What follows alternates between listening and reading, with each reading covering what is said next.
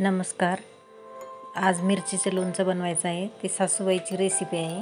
त्यांनी कसं बनवलं ते आपण बघूया.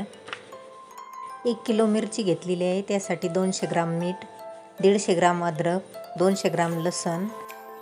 अद्रकची अद्रकची साल काढून घ्यायची स्वच्छ धुवून. लसणही बारीक कट करून घ्यायचं. अद्रकही बारीक कट करायची किंवा कुटून घ्यायची. लिंबाचा रस काढून घेतलेला आहे. मिरची स्वच्छ धुवून तिचे तुकडे करून घ्यायचे. चॉपरमध्ये बारीक करायची. किंवा थोडीशी मिक्सरमधून फिरून घ्यायची किंवा खलबत्त्यात कुटायची. ओबडदोबड कुटायची आहे आपल्याला. दोनशे ग्राम मीठ घेतलेलं आहे. लिंबाचा रस काढून घेतला. सहा लिंबाचा रस आहे हा. अर्धा लिटर तेल. तेल तापायला ठेवलेलं आहे. तेल तापल्यानंतर पाच ग्राम हिंग किंवा एक चमचा हिंग टाकायचा. हिंग हा खडे हिंग टाकलेला आहे. त्यात बारीक केलेला लसण टाकायचा. हा लसण एकदम बारीक चॉपरमध्ये बारीक करून घेतलेला आहे. कुठूनही टाकू शकता. तेल छान तापू द्यायचं नंतर त्यात लसण टाकायचा.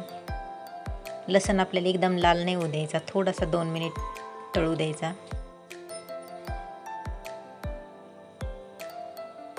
आता आपण अद्रक टाकून घेऊ. अद्रकही तशीच तळून घ्यायची दोन तीन मिनिट.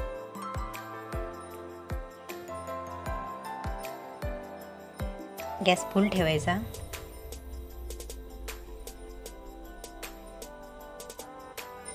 हे मिरचीचं लोणचं वर्षभरही खराब होत नाही. आणि खायला खूप छान लागतं. पन्नास ग्राम हळद टाकलेली आहे.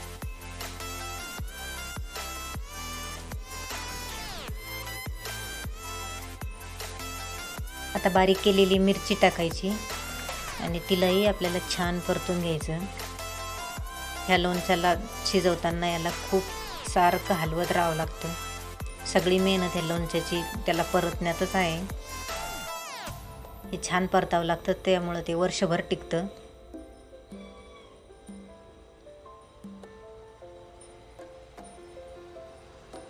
आता याला सारखं हलवत आपल्याला छान शिजवून घ्यायचं याला. तेल सुटेपर्यंत आपल्याला आता ही मिरची परतावायची.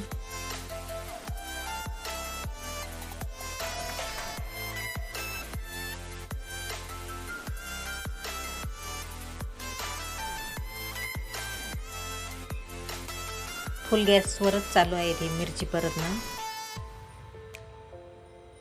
आपल्याला ह्या लोणच्यासाठी भिजलेली मेथी पाहिजे. अगोदर दोन तास तरी मेथी भिजलेली पाहिजे अगोदर.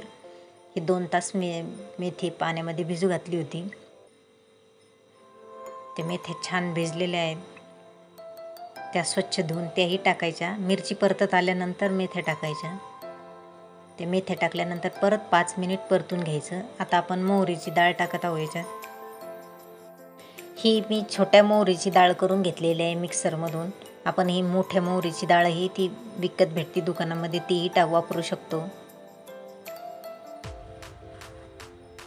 दोनशे ग्राम मीठ टाकायचं. मीठ हे शेवटीच टाकायचं मोहरीची डाळ आणि मीठ. मिरचीला तेल सुटायला लागल्यानंतर टाकायचं. अगोदर मीठ टाकलं तर मिरचीला खूप जास्त पाणी सुटतं.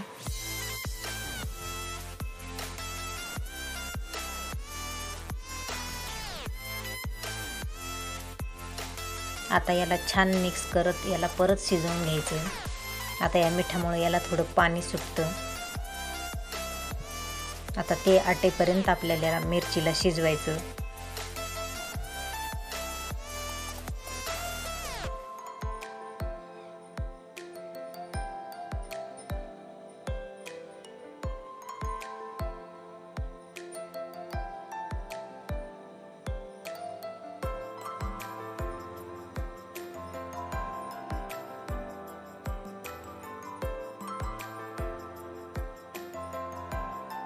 मीठ थोडं थोडं करून टाकत आहोत त्यामध्ये. पूर्ण मीठ दोनशे ग्राम वापरलेलं आहे.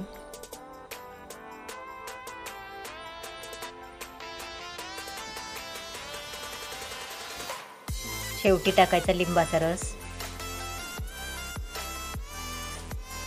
तोही अर्धाच टाकला अर्धा परत टाकायचा.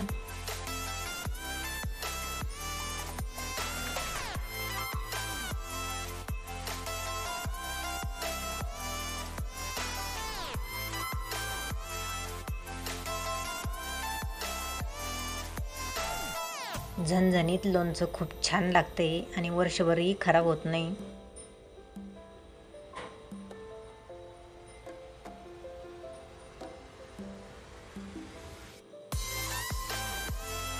आपलं लोणचं आता शिजलेलं आहे. बघू शकता त्याला किती तेल सुटायला लागलेलं आहे. सकडईपासून मिश्रण सुटायला लागतं. म्हणजे समजायचं की आपलं लोणचं आता पूर्ण शिजलेलं आहे.